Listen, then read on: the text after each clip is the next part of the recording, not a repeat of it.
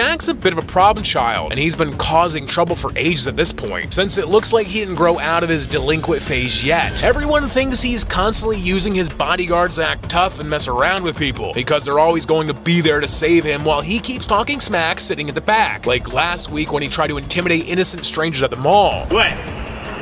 Little prop, what you gonna do? What you gonna do, little prop? Yeah.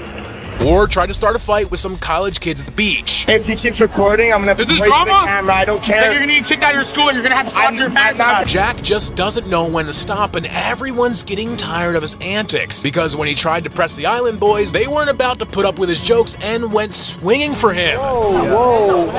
Oh! This is why everyone's worried because it doesn't even look like his guards know how to deal with an actual threat, which means Jack is in for a nightmare if he messes with the wrong person someday.